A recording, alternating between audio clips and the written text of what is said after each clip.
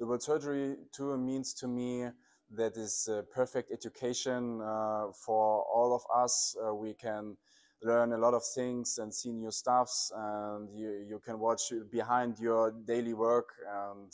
yeah it's a, it's a great event a great opportunity for education